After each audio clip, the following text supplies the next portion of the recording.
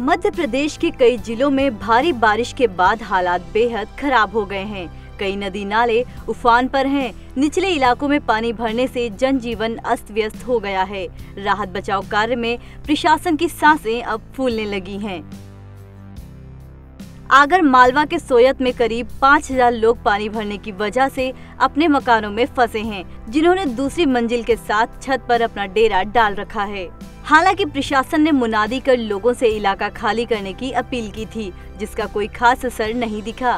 प्रशासन ने अपने इंतज़ाम किए, लेकिन वो सब नाकाफी लगने लगे हैं। लोगों को बाहर निकालने के लिए प्रशासन के पास अभी तक कुल दो बोट और कुछ ट्यूब का इस्तेमाल किया जा रहा है। हमारे कमांडेंट साहब के पास इसकी सूचना ही थी शाहजहाँपुर ज़िले में, कि वहाँ पर पानी अधिक है। और सोयत कला में पानी घुस गया है और एक जगह तीन लोग फंसे हुए हैं।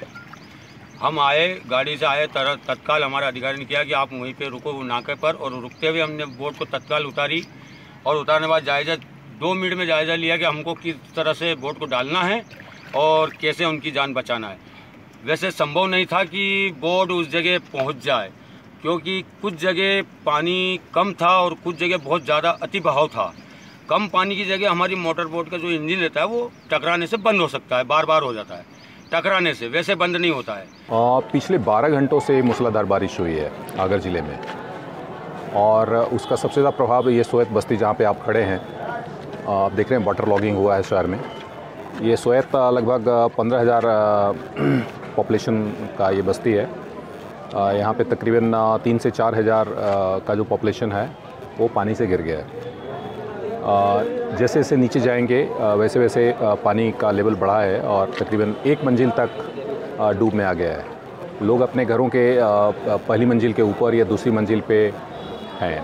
अभी हमने इसमें रेस्क्यू सुबह से स्टार्ट किया है और हमारे एसडीआरएफ की टीम जो है वो इसमें रेस्क्यू कर रहा है। दो बोट हम हमारा चल रहा है जो लोगों को अंदर से निकालने का काम कर रहा है। प्रायोरिटी में ऐसे लोगों को निकाल रहे हैं जो बीमार हैं, बच्चे हैं, बूढ़े हैं, बुज़ुर्ग हैं।